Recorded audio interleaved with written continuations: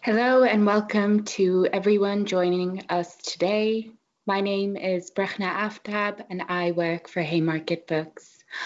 Before we begin, on behalf of Haymarket Books, I want to express our solidarity in absolute terms with those struggling in Jerusalem and all across Palestine today against the ongoing violence and brutality of Israeli settler colonialism. In light of cynical and distorted mainstream media coverage and reporting on Palestine, it is crucial that we platform voices against settler colonialism, against apartheid, and for a liberated Palestine. We're very grateful to our speakers for joining us today for this conversation. Sai and Toufic will be helping us make sense of recent tensions between uh, liberal and religious Zionists and whether we are seeing changes in Palestinian resistance against Israel's colonial project. We will also hear from them on how we can understand recent developments in light of shifting global and regional geopolitical dynamics. So without further delay, I would like to introduce our two brilliant comrades, Sai Englert and Toufic Haddad. Sai Englert is a lecturer at Leiden University in the Netherlands. He works on settler colonialism, Zionism, labor movements, and anti Semitism. He is a member of the editorial boards of Notes from Below and Historical Materialism. He is the author of Settler Colonialism and Introduction. Toufic Haddad is a Palestinian academic and the author of Palestine limited neoliberalism and nationalism in the occupied territories. He currently directs the Council for British Research in the Levant's Kenyon Institute in East Jerusalem and has worked in various capacities across the occupied Palestinian territories as a journalist, researcher, consultant, editor, and publisher. We'll also be taking questions from the audience, so if you do have any questions, please do feel free to share those in the chat. Sai and Toufic, thank you again. Handing over to you. Hi, folks. I think I'm going to start this off. So I'd like to thank the organizers, uh, Haymarket Books, and give a big uh, red salute to all the comrades out there uh, who I uh, may know or not. Uh, I did a book back in the day with Haymarket, so it's great to be back here and also to be speaking to this uh, your audience, your wide audience. Uh, I'd also like to say that I'm obviously speaking today in the capacity as as an individual researcher and, and not for my organization, which is kind of important for me to say. Um, you, events uh, in Israel Palestine today are, are quickly escalating, as uh, folks may know. I'm not sure if folks have had the chance to actually see uh, the news today, but like 30 rockets from South Lebanon were fired into northern Israel today, uh, sort of posing one of the most sort of, you know, uh, very much speaking to the, the explosive potential of, of the situation, not just in Israel Palestine, but regionally. And hopefully, my comments can sort of uh, speak to where some of that is coming from. Uh, I've only I've been told that I've been given 10 minutes to try and put this all into context, which is not very much time, and it, it's very com- complicated. But hopefully, I'll be able to provide a decent uh, amount of background uh, to be able to understand sort of the large threads of what's going on, and we can get into more detail once uh, once we're done speaking and you guys uh, folks provide their their questions. So I'm happy to field all that stuff. So uh, I guess the main thing that I want to sort of speak to today is probably sort of framing it in terms of all the dynamics that we're witnessing today largely uh, arise from the quote unquote success of Israel and the Western powers uh, vis-a-vis what they thought was a great success in terms of their ability to contain, suppress, and kind of destroy the Palestine project slash question. Now, uh, sort of to understand that broad, st- like they are today essentially the victim of their successes, uh, which truth be told, were not successes at all, but actually kicked the uh, the main questions of the quote unquote conflict to other theaters, complexifying them, raising the stakes uh, much much higher than they were, uh, and bringing them to a level of what what could be a, a, incredibly destructive regional war that might be on the horizon. And I think for that reason, it's important to sort of speak of the gravity of the situation today. What what what happened in terms of the rockets being fired is is is definitely only a, a small message that is being sent today between those actors, so to speak, uh, but is a harbinger of potentially much, much greater uh, destruction and uh, very dangerous situation. So I, I do want to impart that to the audience today that I think folks need to be paying attention to the situation very closely and r- recognize the potential uh, dangers and dramatic nature of what, what, what we're witnessing today. So to put all this in context, we really kind of need to roll the, the roll the film back like 30 years to the Oslo process. So this this year, 2023, is 30 years to Oslo. Oslo was seen as this sort of uh, you know peace process that was uh, uh, marketed to the world, where you know they had the Nobel Prize given to the people who signed it and all that stuff. Um, but fundamentally, what the Oslo Pro, because I don't have time to go into the Oslo Pro, uh, thing, and I imagine that a lot of you folks know know what the background to Oslo uh, was. But essentially, the Oslo process was basically a process whereby the two players, the PLO and Israel and the Western camp, putting them together as one, sort of find mutual interests at a particular historical moment. But fundamentally, Israel and the Western powers were the stronger party. And they basically, the US pushes Israel, encourages Israel to sort of take advantage of the historical weakness of the PLO to uh, essentially, Israel was facing this important dilemma and crisis in terms of the fact that uh, we had the first intifada from 1987 to around 1993. This posed a major contradiction for Israel in terms of it being able to manage the Palestinians in the occupied territories of the West Bank, East Jerusalem, in Gaza. And their solution for that, uh, and that the, the main fact elements of that contradiction was the fact that Israel, as the Jewish democratic state, was basically controlling millions of Palestinians, and it didn't want to give them citizenship because that would erode the quote Jewish character of the state, and they. Uh, uh, if, if they gave them citizenship, if they deprived them from citizenship, it would mean that they would be the, uh, it would erode the democratic character of the state. So the historical Israeli solution and American solution was basically to create a kind of autonomy scenario where Palestinians would have a form of self-governance, but this self-governance in the main concentrated cities of the Palestinian of the OPT would not be strong enough to form the basis of a Palestinian state. Okay, and uh, and they but at the same time they needed a centralizing power to be able to manage and quote govern these territories and, the, and, and this population because they were rising up and they were actually destroying the Israeli settlement project in the West Bank and Gaza. So the Americans said, get the PLO in town. They will be the main address. We will be able to contain them in these major Palestinian cities.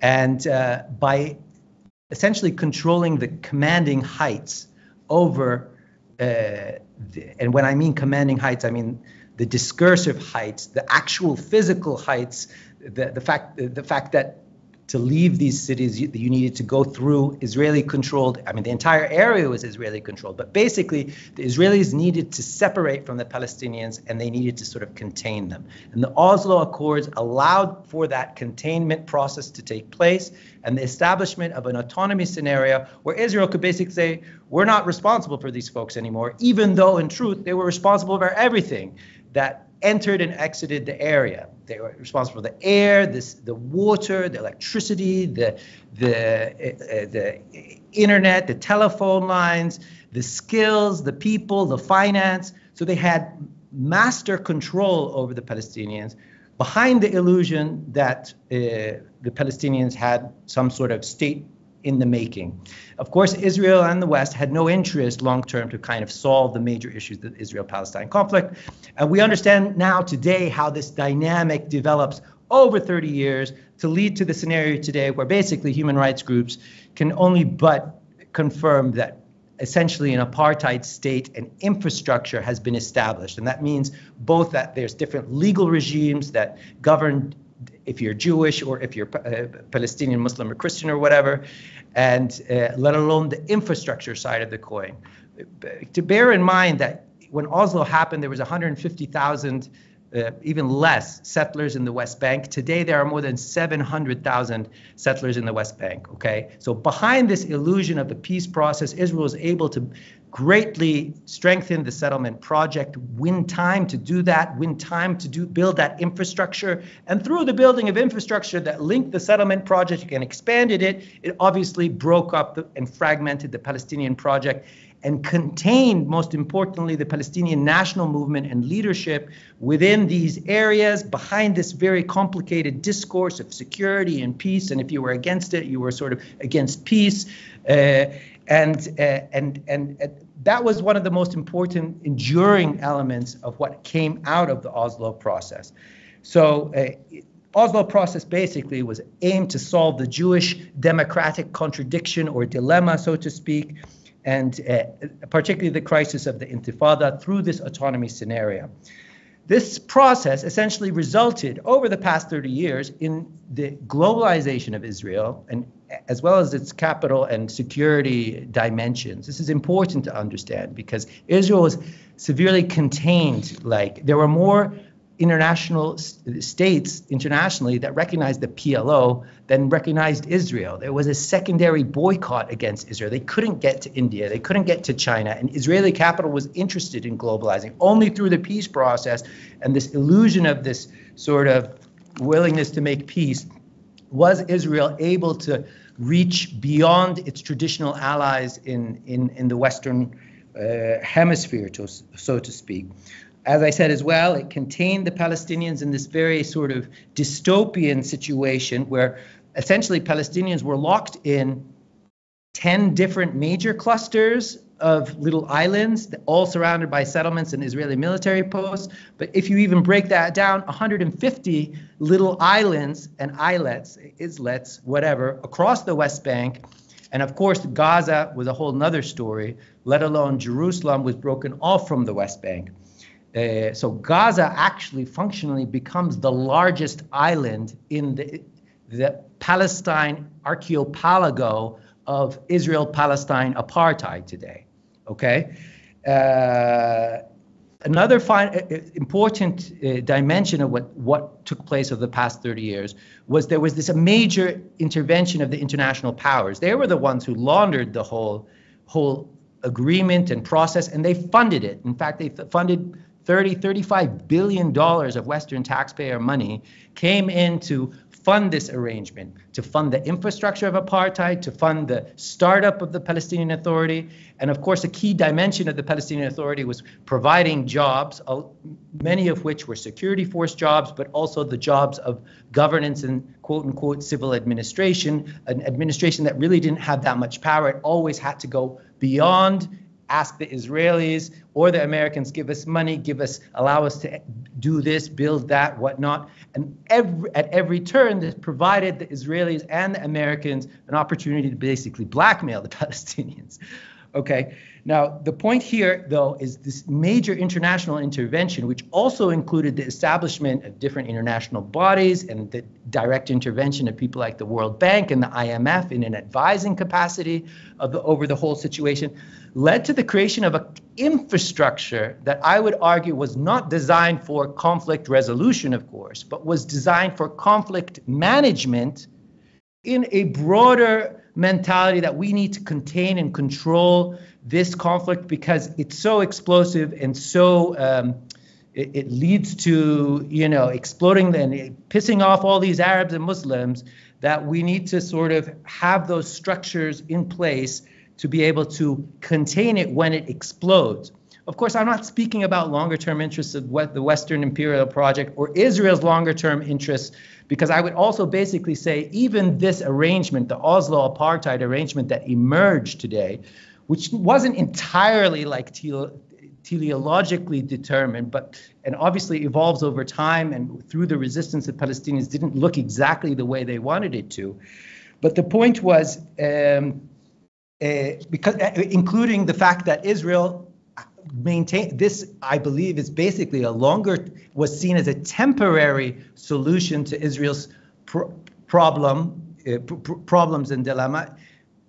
Uh, in prepar- to, to basically it was what was possible in in light of the the the balance of power, so to speak. But Israel never could accept a Palestinian state, or even uh, if the demographics of the situation got to such a level where Palestinians were a majority throughout the whole of OPT you know, not just OPT, excuse me, historical Palestine between the river and the sea. And mind you, we're basically around 50 50 in terms of the amount of Jews and the amount of Palestinians between the river and the sea. Uh, okay. So we're, we're at a kind of important historical turning point, And for that reason, that it's not just about containing the Palestinian issue, but that this, we also begin to hear more talk amongst the Israelis about we need to take more dramatic steps, whether it's in terms of more violence to actually crush Palestinian resistance, or if we need to open up these questions, we're willing to talk about another new forms of transfer. But in any case, um, of course, establishing this whole framework was only possible through establishment of apartheid and lots and lots of bloodshed uh, on, on the Palestinian side. And also, a fair amount of Israelis were killed in the process, too, because Palestinians did not go down quietly.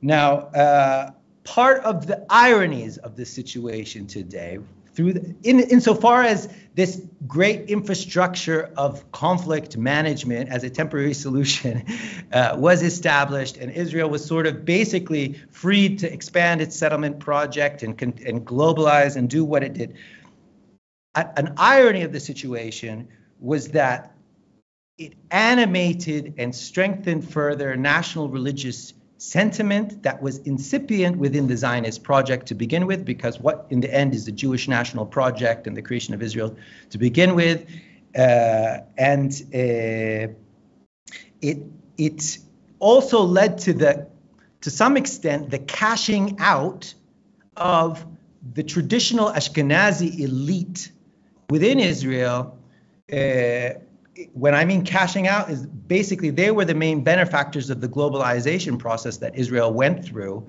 And th- they are already the cultural and political and economic elites of Israel the, that benefited from this Oslo victory slash success. Now, the animation of the national religious dynamic and the giving of uh, Uh, tailwinds to it has, a, in addition to the demographic dynamics within Israel, uh, uh, uh and the the end of Israel, the, the, traditional pragmatic labor Zionist historical role to establish the state was seen as basically over, and and, and or, or had had completed its historical role. So, what we see today, after a period of instability of five different Israeli election cycles, is eventually this slow transition where the old powers that established the state and which were traditionally, historically hegemonic within Israel, today sort of like ha- happy, sitting pretty, well, uh, you know, do, do, doing economically well. Many of them also have Western passports. Whereas the second Israel, the, and, and I, I, don't say that by my, they all, within Zionist discourse, there was always the beautiful Israel and then the second Israel. The second Israel was the religious, uh, the Orthodox communities, the Arab Jews, those who didn't fit the traditional sort of Ashkenazi new Jew model that Zionism was purporting to be creating here.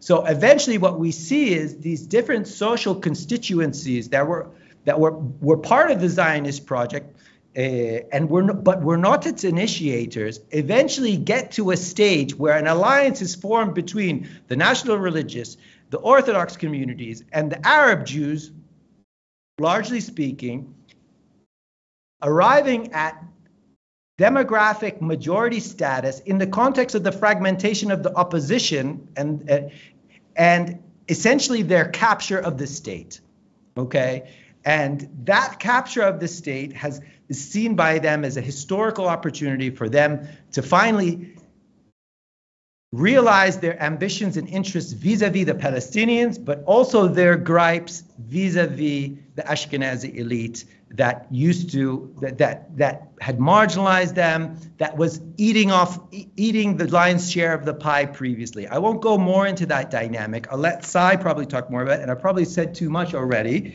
However, um, I just uh, on the Palestinian side, allow me to wrap up on the Palestinian side. What with, this dynamic led to, of course, the containment of the Palestinian leadership and national project in this dystopian structure called the Palestinian Authority, which is a, a, state in the making, but it never is able to realize itself in any way because it has no power and me- no means of lifting itself up from its structural containment and dependency within this apartheid framework.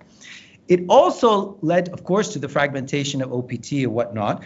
Uh, uh, uh, it also led to the containment of the party structure that were traditionally the civil society elements that had engaged in kind of representation and service provision for Palestinians. Okay, so their containment, like their organizations, get locked in either they're they're completely outside because they're branded as terrorists, or they're locked in sort of NGO-like structures dependent upon Western funding and and and are locked in their wars of position with with Israel, uh, but are not able to take m- more frontal uh, positions of defense against an average Palestinian in the OPT. Okay, this has led to basically large localization of the conflict in the individual little islands okay? And we see that in the explosion of Gaza once in a while, and now we see it in the West Bank because basically the battle today is not for Gaza. The battle today is for the areas outside of the area A in the West Bank that the settlers are basically encroaching on. So we see today the emergence of new localized political uh, movements and organizations outside the traditional party structure, outside the Palestinian Authority, attempting to defend Palestinian interests and further them through by initiating, uh, by, by, by, attempting to by attempting to resist and target Israeli targets, be they the army or settlers in these areas. And so that's why we see these dynamics in Nablus and Jenin. By the way, with Nablus and Jenin being not only Jenin being the poorest area, but also large areas of land where the settlements are actually really trying to push forward and encircle things, uh, encircle these areas. Um, so, and then the final dynamic of this that I want to say is Jerusalem, where I am today, because Jerusalem was outside of this whole equation. Israel would never give up anything in East Jerusalem and wants to eternally control it at it forever, uh, of course.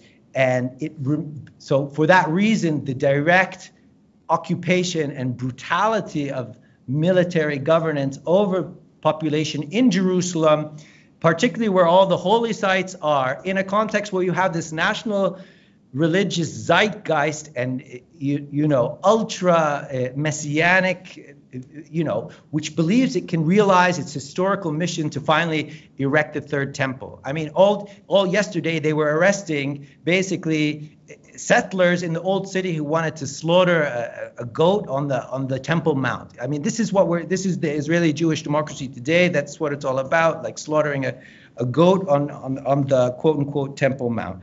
So, uh, but ironically, Jerusalem is, of course, you know, the it's it's it's the key to the whole thing because it doesn't just relate to Palestinians. It relates to 1.5 billion Muslims, okay, and another 400,000, uh, 400 million uh, Arabs. So who are all in the area, who are all fasting right now in the middle of Ramadan, and uh, it it ironically becomes one of it's not ironic but it's, it becomes logically the the the live wire where this thing can explode because basically it, it, it's the front line. It's the I don't know if the third rail is the quite quite accurate way to say it. So essentially, these rockets were fired today because two days ago they went in to Al Aqsa at four in the morning and tried to kick out and arrested 400 worshippers who were there and beat everybody up in the middle of you know the, the, the, third most important mosque in, in in all of islam. So and it's a very sensitive issue. So that's where we stand today. I'll leave it there. Thank you. Long. Thanks, uh, thanks, Toufic. Um, I'll I'll I'll pick it up from here, and then the idea is also a bit that we that we we discuss um, a, a, little bit further, so you'll still have the opportunity to come back to things. And I think maybe it'll be useful for both of us to then reflect on maybe how some of these kind of local processes relate to kind of larger regional and, and international ones. Um, I wanted to start the the the task I was given was to kind of shed some light on the the current um, political crisis in Israel, uh, and to kind of connect it, I think, to to a lot of what Toufic has, has very helpfully kind of outlined. So, in a nutshell, I, I assume people will have will have followed it, but uh, since the beginning of the year, we've seen the kind of acceleration of two processes that are playing uh, uh themselves out at the same time, which is on the one hand uh, and Toufic has spoken about it, the kind of unleashing of uh, much more rapid and intense uh, violence against the Palestinians, um, both uh, militarily uh, and through uh, the kind of growth of confidence of, of the settler movement, which was perhaps captured the kind of most powerfully in the the images that people will have seen of the pogrom in Huwara, where you see sort of hundreds of settlers uh, descending uh, on a on a Palestinian town and attacking Palestinians, breaking property, etc. And that really captures, I think, this this acceleration uh, of an ongoing and existing violence uh, in the in the occupied territories um, that that we've witnessed over the the, the last uh, few months. Um, uh, in since the beginning of the year alone, Israel has killed over 80 Palestinians, um, and and points to the fact that this year uh, will already be much more uh, uh, sort of murderous than than the preceding ones, uh, which certainly uh, weren't, um, um you know, uh, peaceful or or, or um, yeah, peaceful. At the same time, what we've seen is this kind of explosion of massive demonstrations, um, road occupations, strikes. Although I'll say something about that uh, in, in a moment within Israeli society itself. Um, and uh, both of these processes of kind of increased tension have as their uh, immediate kind of starting point, although, as Toufic has already pointed to, they're part of much longer processes and developments. Uh, the election of uh, the kind of latest Israeli government led by Benjamin Netanyahu and uh, the alliance of the most uh, conservative right wing uh, uh, elements uh, inside of Israeli society that he could put together to build a, majority. And so that goes from uh, the kind of ultra orthodox parties all the way to the most accelerationist elements of the, the, the settler movement in the West Bank, including settlers in his government. Not that that's necessarily new. What is new is that that includes um, uh, open followers of the Kahanist movement, which is, you know, very open and aggressive about its sort of eliminationist calls towards the Palestinians um, ministers who celebrated uh, Baruch Goldstein, who um, uh, uh, committed the the massacre uh, in the in the mosque in Hebron in the late 1990s, etc., who kind of openly celebrate these sort of uh, these sort of um, uh, actors. and in fact, the finance minister, who is is one of these settlers, has been put in charge of the West Bank, and so it's also the first time that a civilian uh, politician uh, is uh, the the Israeli head, let's say, of the occupied territories rather than a, a military uh, person in response to Huwara. Um, he was asked, Smotrich, the, the politician, was asked um, uh, to react to it, and uh, his response was to say that he thought Huwara needed to be wiped off the map. So it, it gives an idea, uh, and that the Israeli state should do it. So it gives an idea of the kind of uh, people uh, that are in play and why they would give much greater confidence to both the military and the settler movement in the West Bank uh, to carry out an increased kind of level le- level of violence and assault against the Palestinians. At the same time, there is this real kind of social tension play itself out in Israel, and that is both in response to an immediate question, which is the fact that this government by Netanyahu is trying to use its majority to redraw uh, lines inside of uh, the Israeli state, and largely by taking on uh, the High Court, which the Israeli right and the, the religious right sees as uh, a sort of a liberal body that uh, repeatedly stops it from doing uh, what it wants. Um, we should immediately bracket that, and we can perhaps say more about that uh, later. It is that same High Court that legalizes uh, settlements that are uh, considered legal by no other body uh, in the world except itself.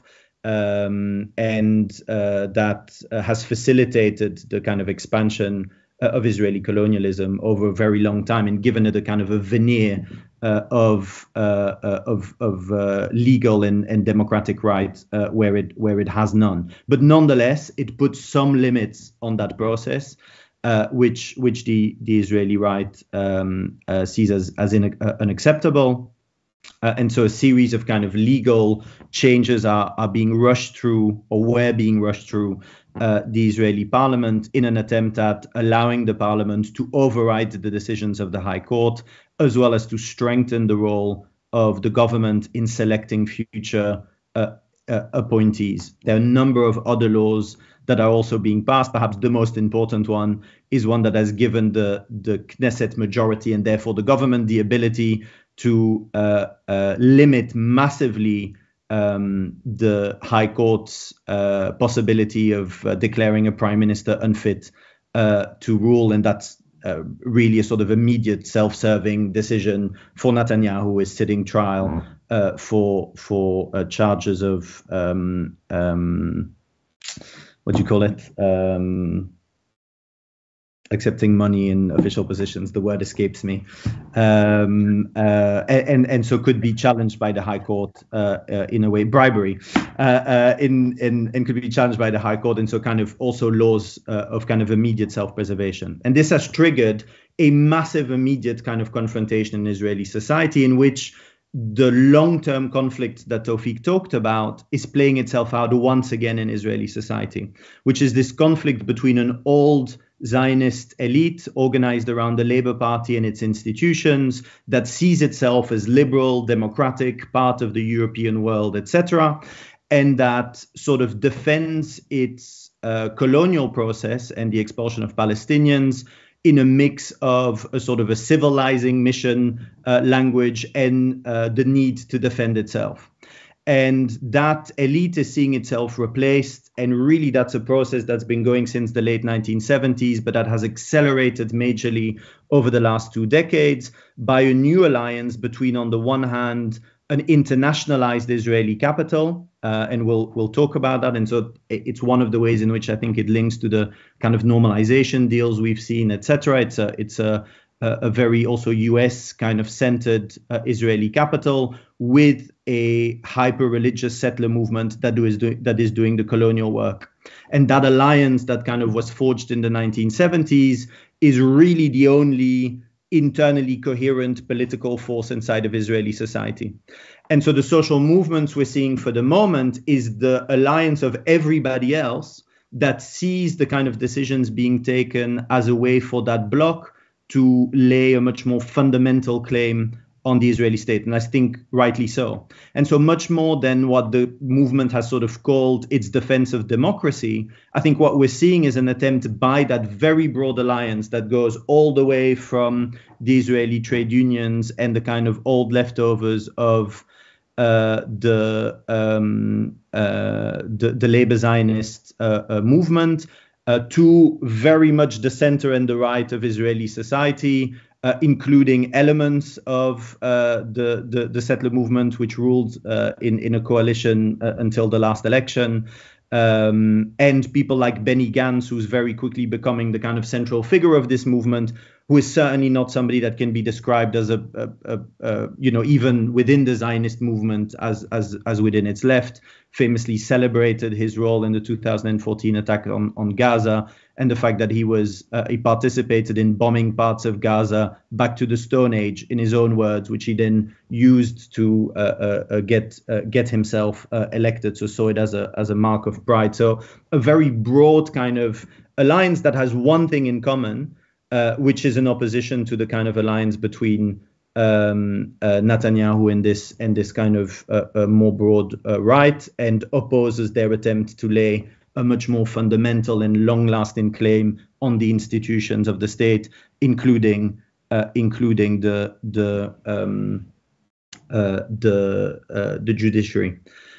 What both sides of this divide have absolutely in common, however, is a deep commitment to the Zionist movement uh, and to its colonial project in Palestine. And I just think it's important to say that uh, when we when we discuss the movement, is that we're not seeing a sort of a progressive left opposing uh, a dangerous right. We are seeing two sides of a colonial project confronting each other over who controls the state a very powerful image of that is that when Palestinians have tried to participate in the movement, most of them haven't, and for very good reasons. They are confronted with both sides of their oppressors, those who have, often for kind of ideological reasons, for example, because they are members of the Communist Party, uh, have found themselves excluded, uh, attacked for raising Palestinian flags, uh, censured when they've tried to speak on demonstrations. And it's been very clear that the question of uh, Israel's colonial process uh, uh, uh, is not to be questioned or to be linked to the rollback of, of civil liberties. One might ask if you live in a state that denies the civil liberties uh, of 50% of the people that live under its rule, whether it should be surprising that that process generalizes itself, but that is not a question that those social movements uh, are, are, are, prepared uh, are prepared to, to ask themselves.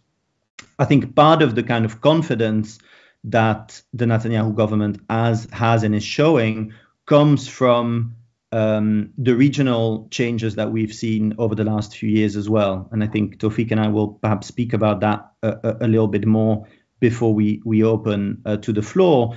But I think the fact that Israel was able to sign a new round of normalization deals. And again, that's a long term process that starts in the late 1970s, first with a peace treaty with Egypt, then with Jordan, a closer and closer collaboration with Gulf states, and which is sort of uh, officialized uh, in. Uh, uh in the, the so-called Abraham Accords uh, in in 2020, um, in which the kind of direct diplomatic, economic, and and political connections with largely the Gulf uh, as well as Morocco um, uh, is becoming more officialized, and so that these states are also prepared to distance themselves more and more, even of their rhetorical support uh, for um, Palestinian liberation, which was only that rhetorical, but even that can sort of increasingly be abandoned. Um, that that gives a much greater confidence as well uh, to Israel to start pushing on some of the, the, the things that had been considered red lines uh, in the aftermath of Oslo, and that clearly the settler movement is is trying to redefine for the moment uh, and to and to lay claims on kind of greater uh, areas uh, of Palestinian uh, uh, land that had been considered sort of out of out of reach, which I which I, I, I think very much um, the, the, the two should, should should sort of be be connected.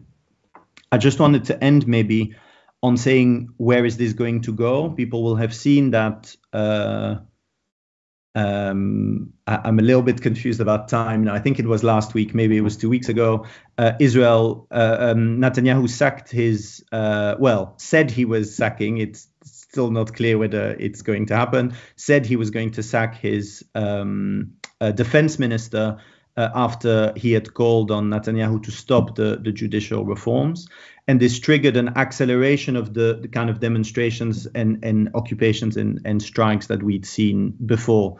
And so you had massive demonstrations, and both the Histadrut, which is Israel's trade union federation, uh, and a historic institution of the Zionist movement, alongside with uh, employers' um, uh, organizations, announcing that they were shutting down the Israeli economy for a day. So the airport, uh, Haifa port, um, supermarkets, uh, schools, universities, etc., were on a mixture between strikes in some industries and actually employer lockouts in the others, because it's employers who sort of decided to to shut it down uh, alongside uh, very large kind of demonstrations, forced the Netanyahu government to announce that they would pause uh, the reforms. They're very much paused, nothing has been pulled, uh, and they are to be rediscussed uh, after the, the parliamentary break that Israel is going in now. It seems that what will happen is that, on the one hand, Netanyahu will keep his coalition together long enough to pass their um, uh, their budget, uh, which will allow the coalition to sort of stabilize its its rule uh, uh for the next two years, uh, which they'll do, uh, I think, if memory serves, in early June. After which um, the the debate will restart over these reforms, and I think there's very little reason to think that although there might be some changes fundamentally, any of the the, the packages will be will be different.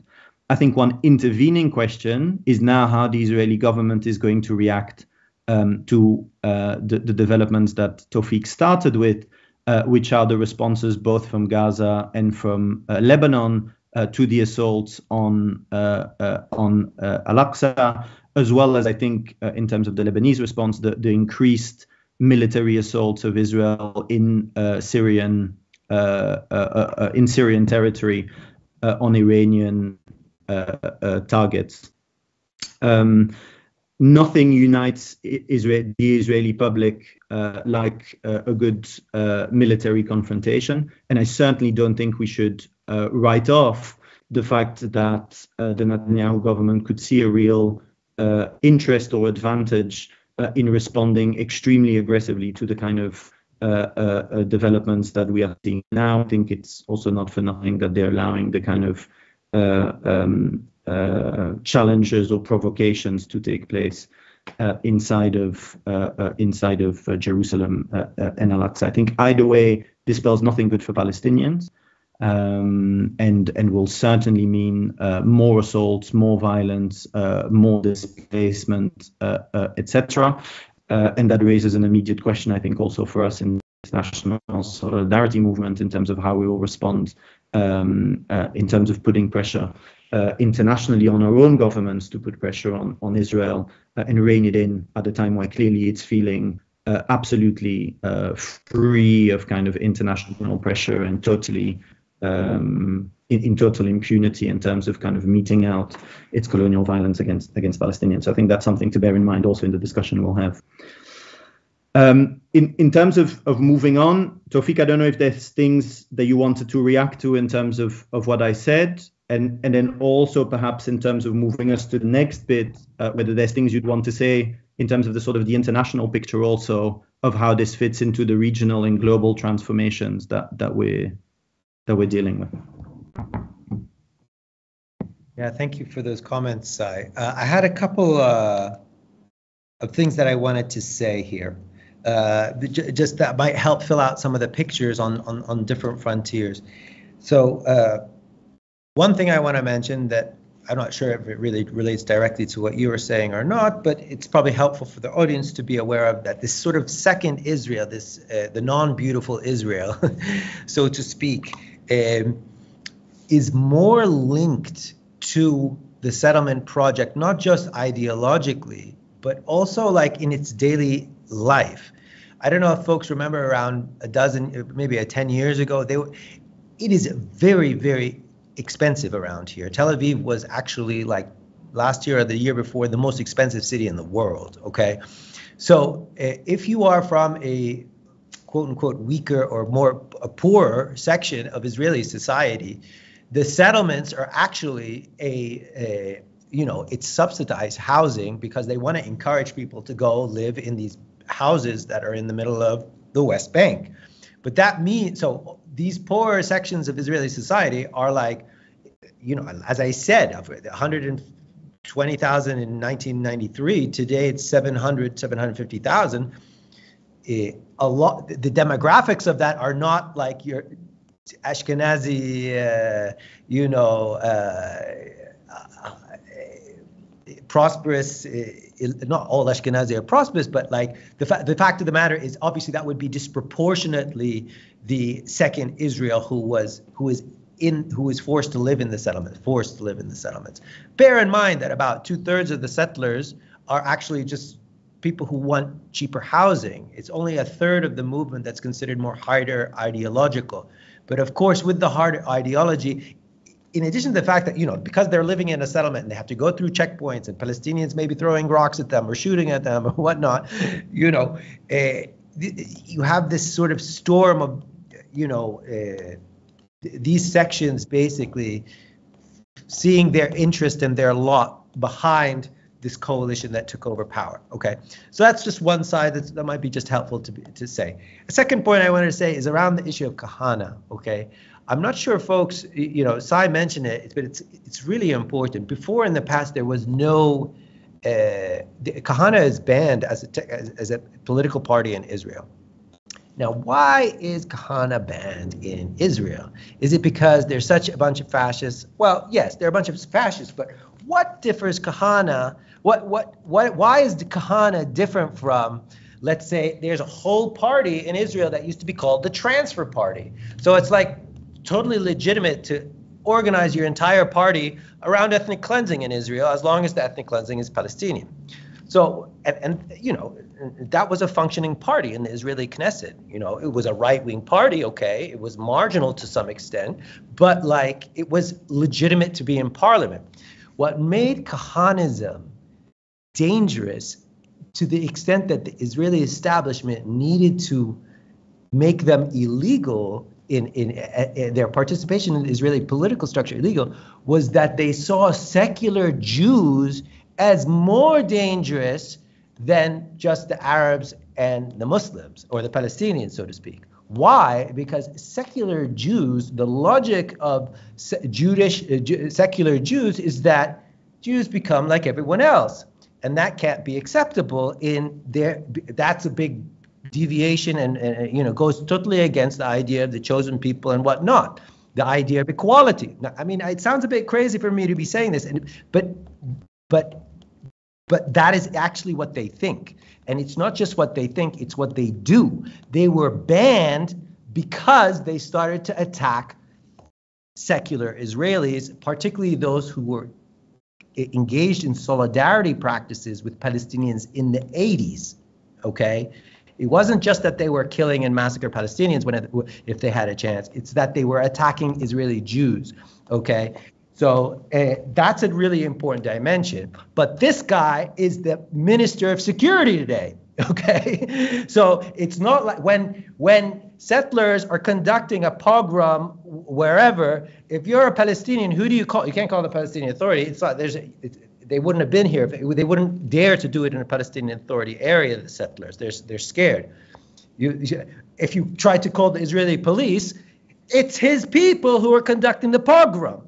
So you, understand how dramatic and dangerous it is. And by the way, Ben Gvir, this minister of security, not only is he forming militias his the only reason he didn't pull out of the Israeli government when Netanyahu said, "Okay, we'll freeze the judicial reforms," is he said, "Okay, he got guarantees that he was able now to form militias."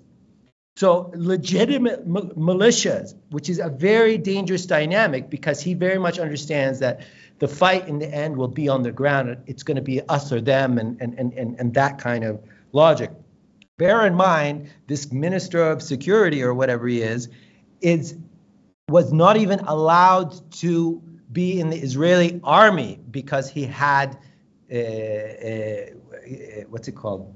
Now I'm losing my number, my my words, because he had terrorism convictions. He had terrorism convictions, and he's been arraigned more than 50 times for for the different sort of thuggish things that he's done against Palestinians, but also against quote unquote secular Israelis. Okay, so bear that in mind.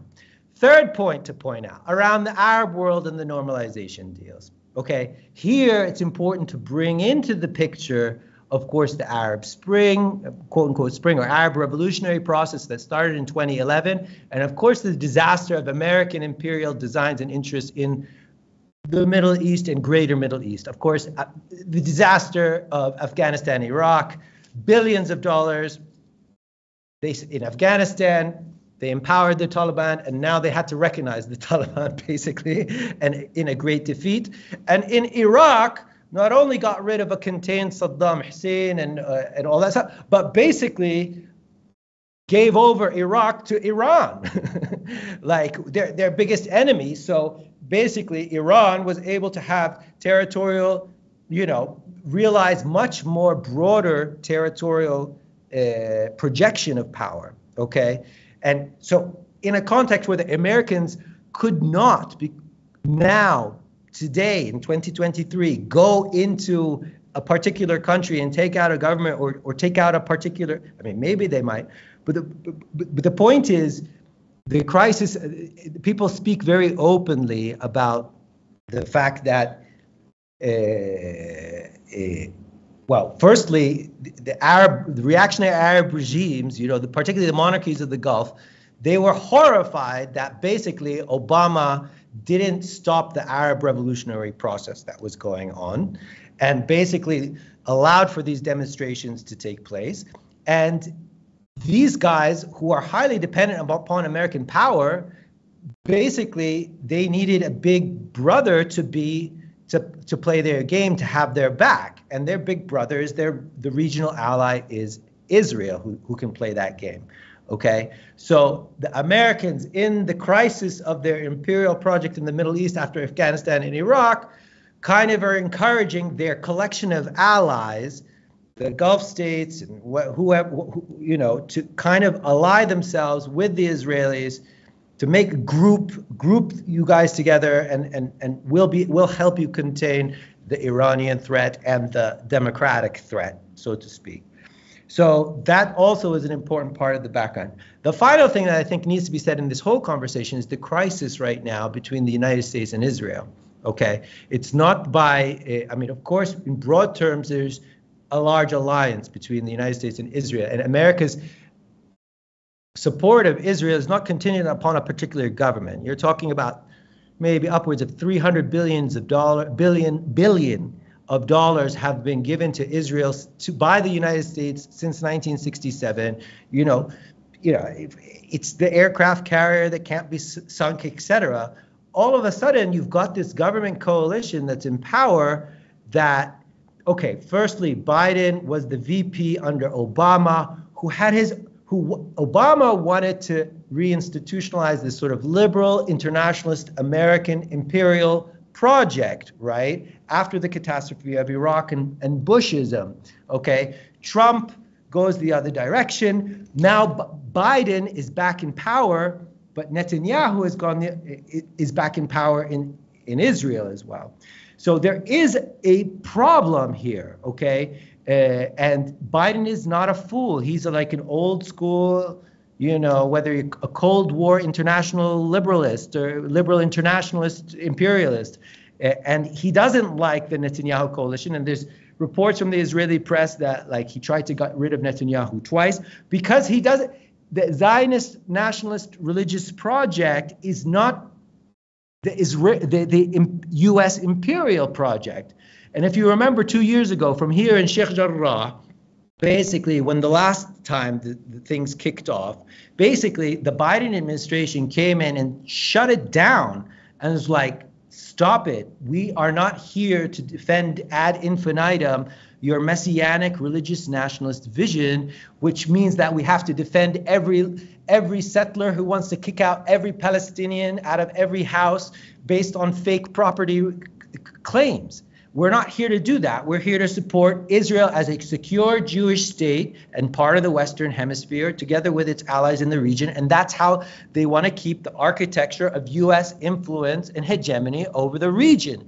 Because especially after the Arab Spring and, and all the historical dynamics, they can't keep everything down. It's not. It's like whack-a-mole for, for them, and it's and the Arab world is getting getting stronger in its kind of the democratic impulses are, are coming out and there's large historical political economic factors that are that are making this whole situation explosive and it means their imperial project is threatened from from it so somebody like netanyahu and the bunch of folks behind him are a threat to america's uh, America's larger interests in the region because it doesn't align within the balance of powers of how America has been organizing the thing so far, uh, and it's and it's problematic. But we don't know where that's going to go. In fact, something very interesting, the real significant thing, what caused Netanyahu, it wasn't just the general strike that the Israelis had, but uh, that, that the, the, the oppositionists in the Israeli camp had. It was the fact that the Israeli army began to show serious divisions. Okay, and this is the key. America has been sponsoring this this this army for to be the dominant army in the Middle East. Their play the, the aircraft carrier in the Middle East, and basically the elements of the the every section of the Israeli army, you were seeing divisions, including amongst the the fighter, the, the, in fact, you didn't actually see divisions with the, the most, why is Israel so, uh, so dominant military? Not just because they have a bunch of Western arms, but the fact is they have aerial superiority. Okay, even when the Americans sell F-35s to the Emirates, they make sure that the technology on it is a little less good than what they give to the Israelis. It's called what do they call it? They call it this dominant strategy. There's a there's an abbreviation for it. Maybe Sai can help me out with that. Any case, uh, they need to make sure that even even with U.S. allies, the U.S. allies don't have as good technology as the Israelis do. So the fighter pilot class in Israel basically said, we're not going to, it was almost unanimous because they come from the Ashkenazi elite. They go, they are, they are brought up through the system and they are the ones who are given the keys to these F-35s, and they didn't really have anything. They don't really see that second Israel as something that's part of them, and you see very clearly these, this division is very strong. So these elite elite fighter pilots are like, we don't, you know, we don't want to be run by a dictatorship of Netanyahu and the right wing and blah blah blah. Okay, that's a problem for American imperialism because it means the main thing that they've been sponsoring, the reliable, strong army, might not be an army anymore. It could lead to potential civil, it, it might not be able to act if, if it needs to act. It might fight each other.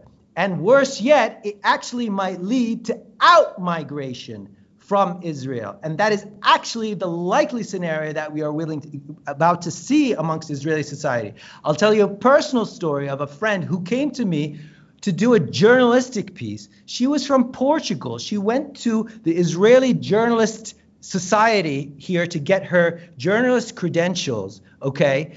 The guy of course, every journalist who comes to Israel who isn't backed by a, you know, it doesn't come from like a major media organization or whatever that that gets the automatic pass. They, it's kind of like their little censorship thing, right? Where like, do you what kind of things do you write? What do you you know? It's their way to vet people and to make them feel like you know, it's their soft censorship uh, control of all that kind of stuff. Okay, so she gets called into the room with the head of the journalist association who who holds the key whether she can actually get a journalist uh, pass or not. The guy doesn't want to talk to her about what she wrote years ago about human rights or Palestinians or batliq. He wants to ask where is the best place to buy property in Portugal because the, because all those guys who sit at the tops of those things are actually are, are thinking you, about using their Western passports and having a backup plan. So Israel, the U.S. is now trying to find a way to solve this thing, and it's not really sure how it's going to play out. Right now, it's just been stalled. So I'll leave it there. Sorry, that was a lot of back feedback commentary. Thanks so much, Toufic. I, I think we, we're going to want to move to, to questions uh, quite quickly. I mean, just to add to that, I think I, I, I agree really with, with, with what you're saying. I think, you know, undoubtedly the um, uh, the the kind of mobilization of the elite in the army, and again the kind of the division that you sh- you talk about between the kind of the beautiful Israel and and and the, the second Israel plays itself out in the army, and so it's the kind of the most elite uh, uh, sections of the army uh, uh, joining. Um, there is a kind of a striking reality, of course, that the the planes continue to be able to strike uh, Syria on a kind of regular uh, on a on a regular and kind of increasing speed, so that also there's sometimes I think perhaps a danger to to sort of overestimate the certainly the immediate kind of crisis that they that they might that they might uh, be facing. The the only thing I wanted to add before we open up is I think the the tension with the US runs both ways. And so that you know what's happening in the region in general and in the kind of growing confidence I think of the of the Israeli state's assault on Palestinians is also the broad kind of transformation of the US's main focus, US imperialism's main focus towards the, the Pacific, towards China, towards containment uh, uh, there. And that increases its dependence on its kind of allies in the region. And so the normalization deals are, are partly that. They're partly an internal process, but they're, of course, an external process that's encouraged very much by the American state to get its closest allies to um, uh, you know, uh, run the region for it, uh, let's say. But that also increases the kind of independence and the autonomy that these actors have uh, in lots of ways. And so, on the one hand, they start making deals with people that perhaps they shouldn't be making deals with, uh, right? So you start seeing kind of close allies making deals with the Chinese or the Russians, etc., at the time of heightened crisis. But I also think it means that the US has uh, lessened, and I mean lessened and not that it has lost that ability, but it lessened the ability to keep its allies on the leash.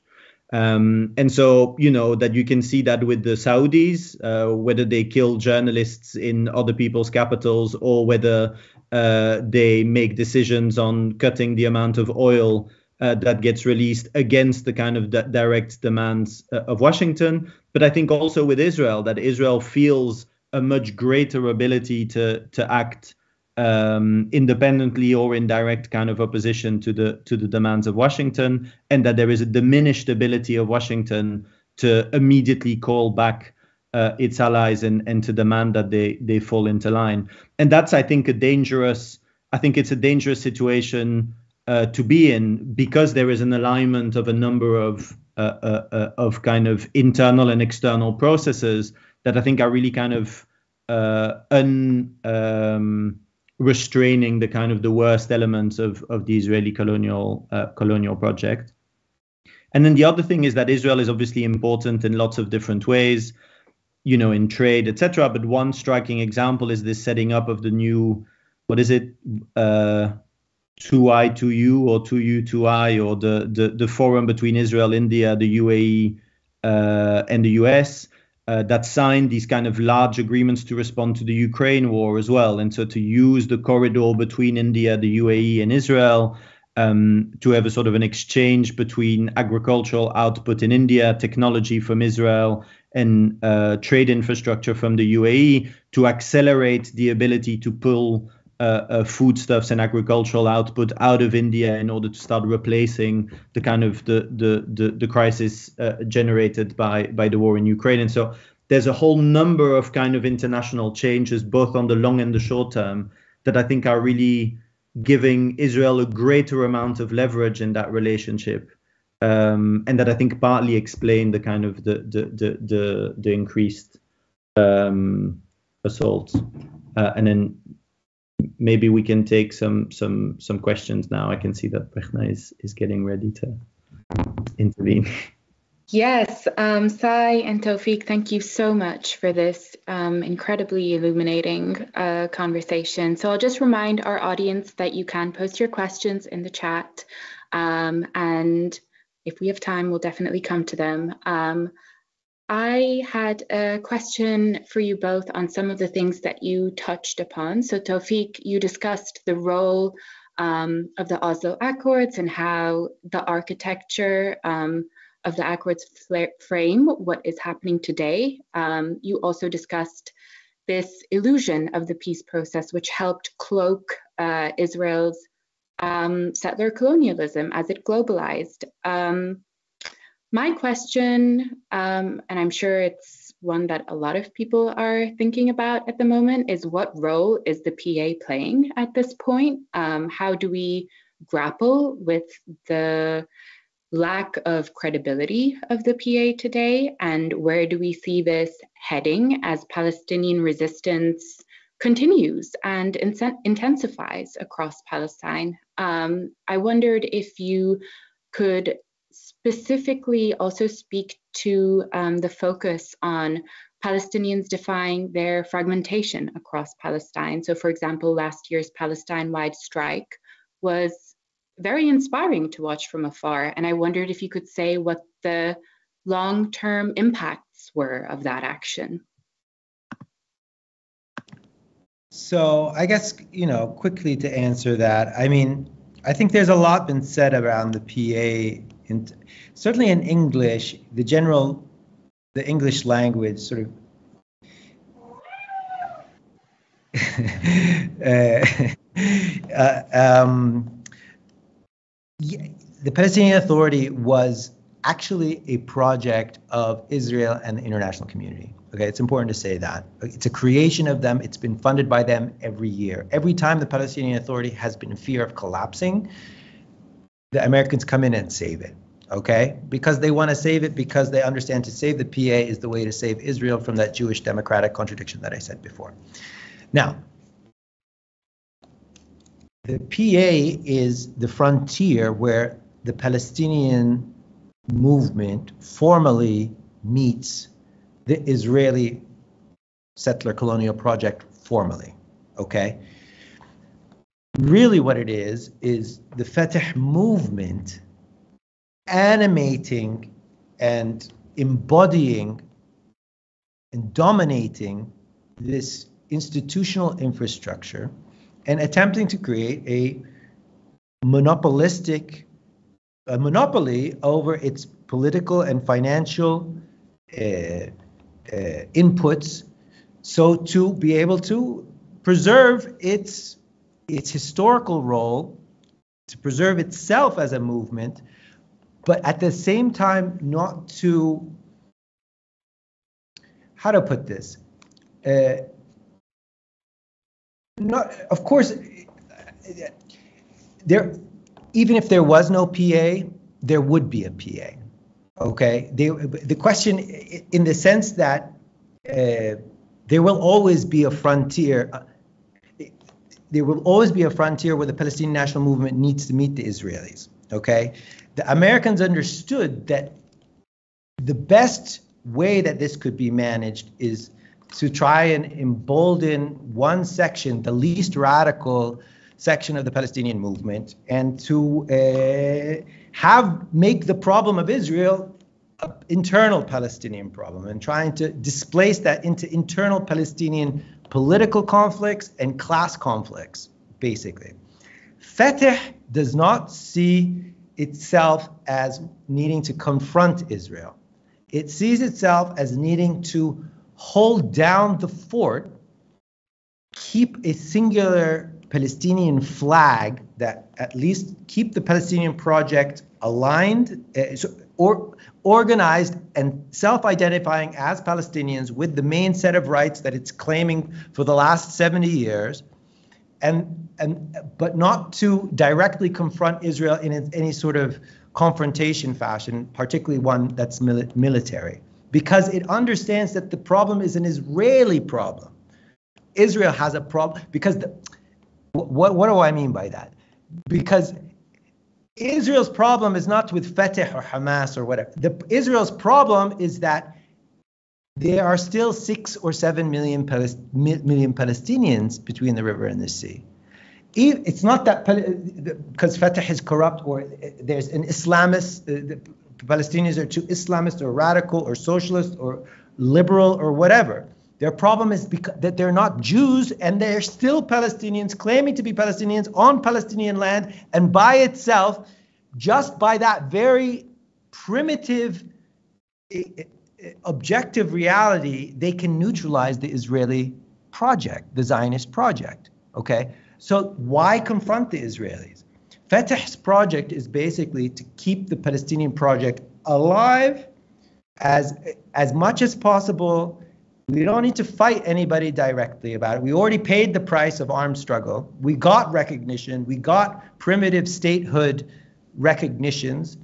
And now Europe, America, you figure out your problem with Israel. Okay, you figure out your problem with the seven million Palestinians. You figure out your problem now that Israel is fighting amongst itself because basically the settler co- commu- the communities of settlers who who are part of that project can't figure out who's going to dominate the state and who gets to milk it most basically. That's the problem you know that because because they use the state of it this incredible infrastructure that they took over basically and established through the american money and also by overtaking by taking over palestine what palestine was khalas, they were distributing it amongst themselves basically. And and there's big fights amongst them as to how what the identity of that project is and who's going to get what part of the pie so Fatah wants to sit back on this there you know maintain a space where eventually they believe through the numbers through the problems on the other side through the problems that could be generated between them and and the west that eventually they can make slow incremental gains in a passive manner. So it's a weird thing to say, but that is really what they're trying to do. Now, that is something totally uninspiring. It, it, a big part of it is obviously corruption and trying to be monopolistic over the, you know, undemocratic and, and, and dominate the economic and political opportunities of the whole situation. So there's nothing inspirational about it. And in fact, the, the Fatah has all been, been about trying to get rid of anything that's supposedly threatening because they want to keep the address of Palestine alive. Okay? So uh, I'm not trying to be apologetic for them. I'm trying, I need, I think folks in the West need to understand what they are and they are not the enemy in this situation. Okay, they hold back from a struggle that could be much more. And obviously, we want a leadership that's representative, that empowers, that's bottom up, that etc. That's not what they are. We do need to understand, but we just need to understand them. So I don't know. So where are they heading? This is an important question. Uh, you know where they're heading. Abu Mazen is 86 years old. The Israelis and the particularly this right wing. I will show you. I'm not going to show you now, but it, I got a thing on my WhatsApp the other day, yesterday. Okay, is this right wing. These dudes, the national religious folks, they want to turn the clock back. They don't even recognize the Palestinians. Okay, they're they're living in another world. Okay, they're ta- they're like there's no such thing as Palestinians the Minister of Interior, what's his name, Smotrich, basically went to France and said, "There's no such thing as Palestine. It's just a bunch of invention." He, he he pulls the clock back 50, 60 years when Golda Meir said the exact same thing. They're basically but just a bunch of kind of tribes, and the best way to deal with tribes is kind of like you know, uh, you know, sticks and carrots, basically, you know, and give the biggest tribes a bunch of carrots, and then have them give them also a bunch of clubs to club the smaller tribes. So the guy, this Likudnik, basically, is basically saying we should establish the, the, the, the Palestinian Emirates of the West Bank. And he literally went through every single city. He said in Ramallah, You've got the Tawil family, the Abu Ain family, and the Barghouti family.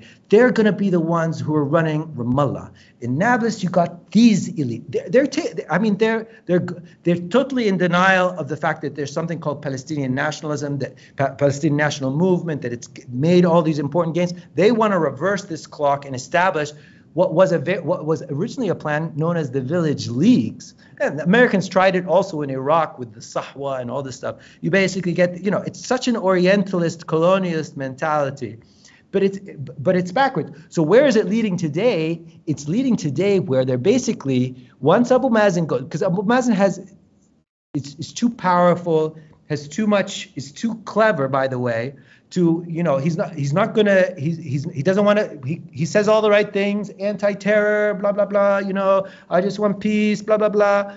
Okay uh, but eventually this guy's gonna go i mean because whatever. This will be their opportunity. They consider potentially both to reverse the oslo accords and go back to some sort of united emirates of the palestinian you know, and and take over the rest of the land and annex all the lands other than the major cities. Okay, and uh, so what they've been doing, by the way, with the Americans, okay, is working carefully because this massive infrastructure that they established through Oslo behind the security thing. 500 checkpoints throughout the West Bank, right? That's this crazy system of levers you can open and close each city and and blackmail people at 500 different points to, to move a box of tomatoes from one town to another. You can basically blackmail palestinians around it you know and that means you can have the opportunity to you know to to to to create elites to make people and break people right? So what they're working to do is basically they, they don't like that. The right, particularly, doesn't like the idea of a centralized Palestinian project. The Americans and the, and the original Israelis who designed Oslo said, no, we need a centralized thing because that way we, we get off our back the, the problem of the, you know the Palestinians as a problem and we put it put it all on on their plate. And plus, when something like Corona happens, you know, uh, you know, mm-hmm. like it's much easier to deal with one Ministry of Health than 500 villages by yourself through the civil administration, which is the alternative. And they so they prefer not to. So, but basically, they're aiming to try and cre- break up even further, basically the pol- unified currently political leadership of the Palestinians because the PA is still an American project, but beneath it is Fatah, and they, they, they don't like the fact that Fatah is clever enough to keep the fort at least alive as a unified project, okay? And that's not giving any political support to it, but it's also saying that it's tactical enough, uh, wise enough not to sort of you know, it doesn't want to allow the fragmentation of the Palestinian movement the way the Americans and the Israelis want to. So basically, the Americans and the Israelis are trying to set up a situation where between elite families and security elites, they can they can further rule the West Bank by making bilateral deals with the big families in the north, the big families in the south, the big families in thing, and then when they need to come and clobber whoever doesn't doesn't like that that project, whether it's Gaza or anybody else in the West Bank. So it's so I think that's how folks need to understand the PA. But truth be told, talking to a Western audience like this, I think folks keep that on, you know keep that inside, uh, kind of understand it in that complicated, contradictory way. But the real focus needs to be on the Israelis and, and Western support for Israel and, and, and, you know the abomination of this project that that is going on that is promising rivers and tsunamis of blood coming up unless it's unless it's stopped. So. Thank you Toufic that's really helpful. Um, Toufic you also spoke about the animation of a national um, religious dynamic within Israel um, over the years, which of course we can see um, manifesting today in the character of the Israeli government. And Sai, you spoke very clearly about um, the intensifying social tensions within Israel, um, taking the form of these so called pro democracy protests to uh, protect the Israeli Supreme Court, which of course as we know, and as Mohammed Al Kurd covers very clearly in a recent article for The Nation, is a settler serving institution at the end of the day as well. Um, I think you pointed out that, you know, very helpfully that both sides of the divide have a deep commitment to the Zionist movement.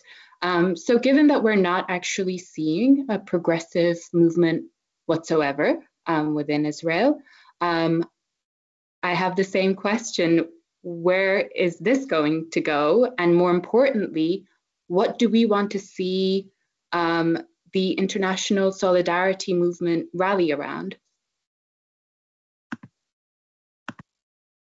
Yeah, thanks for that. I mean, where is it going to go? I think is is difficult uh, is difficult to answer. I have to say that for quite a long time, I've been very um, skeptical of the fact that anybody in the Israeli political sphere has a serious alternative to I don't know what we want to call it Netanyahuism or something. I think he's the only one with a with a consistent political project and a consistent political bloc. Uh, the problem he has is that he doesn't have a big enough majority in Israeli, a, a, stable enough majority in Israeli society. So for the last six years, no, the last 2000, end of 2018, so the last three and a bit, uh, I can't count anymore, five and a bit years, there's been six different uh, uh governments uh, in Israel. all unable to maintain their coalition for long enough to not have to call uh, a, a new uh, election. What's happening in that process is that on the one hand, you have Netanyahu and the right, and a very stable Likud that is building different alliances around itself. And you have everybody else in what is an increasingly kind of rapidly transforming sea of parties that change their names all the times. The alliances change, who can run with who changes, and, and total instability. And I think it points to the fact that nobody has a real alternative to this kind of long-term alliance that the Israeli right has built between, on the one hand, big Israeli capital that has these increasingly kind of international uh, aims, and uh, the settler movement that is keeping the colonial movement uh, effective, expanding, and, and active. And that really is the sort of historical block, I think, at, at the center of Israeli politics that nobody has a very serious alternative to. So, will the movement manage to uh, stop the reforms, to alter them, etc.? Perhaps. Uh, I have to say, I, I remain unconvinced um, in that it will manage to roll them back entirely. Uh, but you know, maybe I'm wrong. But I think in the long term, it's very unlikely. Either way, and you know, like you've said, and and um, uh, um, and and what I was kind of trying to point to before is that neither of these camps represents either real democracy, i.e., democratic civil and political rights for everybody that lives in the territory uh, between the river and the sea, um, uh, or a break with the Israeli colonial uh, process. So where can the changes come from? And you know, I think that the Palestinian left historically talked about um, you know the fact that the the transformation that the the role of Zionism was its alliance with uh, Western imperialism, and so that the transformation of that needed to be a transformation that would be regional and that would challenge fundamentally the bases of Western imperialism. Actually, I think that hasn't really changed. What does that mean practically? I think practically that means that there are three locuses of resistance. I think one of them we saw, and Toufic talked about it, in the kind of 2011 revolutions, the the the, the popular movements in the region that have very much been repressed, um, uh, but that fought for kind of democratic, political, economic transformation of the region, which would fundamentally put Israel in a very different position as as it would American imperialism by weakening it. The second one is, of course, or perhaps that's the first one, is the Palestinian struggle for national liberation, and uh, uh, that's not a struggle that's in a position of strength, but it is certainly one that for the last decade has seen really important qualitative transformations. You mentioned the general strike we saw uh, two years ago now and the kind of mobilization across historic Palestine. Uh, the Great March of Return uh, in Gaza a few years back uh, might be another example of that. Uh, the very broad social movements against the Salam Fayyad uh, government around the time of the Arab revolutions. Um, uh, there are other examples. In fact, the, the, the breakdown of the ability of the PA to maintain its kind of dominance, its security dominance uh, in in the West Bank for the moment, and these kind of development of new resistance group we're seeing, all of those, I think, are signs of a collapsing of a particular kind of imposed control from above. Um, on uh, the Palestinian struggle, and the fact that from below there are lots of different initiatives that are trying to develop uh, new models, new forms of struggle uh, independent from the kind of uh, Oslo institutions that, that are collapsing all around them. That is not to kind of be, you know, rosy eyed about it and saying that there's a kind of an immediate new uh, uh, solution that will emerge out of them. But I do think they're qualitatively incredibly important and that they point to the kind of new abilities of Palestinians to develop alliances and and and and resistance to Israel's colonial project, and that the solidarity movement should do, I think, a much better job in highlighting, building solidarity with, uh, connecting with, having those people speak, uh, uh, you know, uh, publishing them, inviting them, etc., etc., etc. And then, you know, the most obvious, but I think it remains true, is that in 2005, 170 Palestinian civil society organizations made a call to the civil societies of the world, demanding that they boycott, divest, and sanction governments, institutions, and companies that participate in and profit from the continued colonization of Palestine and people should participate in that in their neighborhoods in their workplaces in their universities in their schools etc all institutional links with uh, governments institutions or companies that participate in or profit from the israeli colonial project um, should all those links should be broken. That's a difficult struggle. It's one that many people are involved in, and it's one that you know I think we should uh, uh, continue and, and intensify.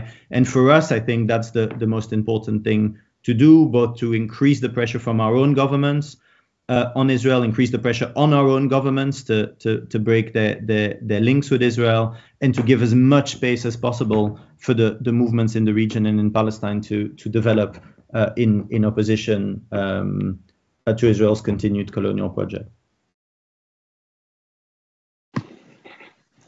Thank you, Sai. Um, I think unfortunately we'll need to uh, wrap up there. So, Sai and Toufic, thank you so much for this incredibly clear and informative conversation. Um, if our audiences would like to dig a little deeper into some of these subjects that we've discussed today, you can get Sai's book, Settler Colonialism and Introduction, and Toufic's book, Palestine Limited, Neoliberalism and Nationalism in the Occupied Territories. Thank you to our audience for joining us today. Please do subscribe to Haymarket's YouTube channel and stay tuned for more online events. Again, thank you, Sai and Toufic. Thank you so much, Bertrand. Pleasure. Thank you.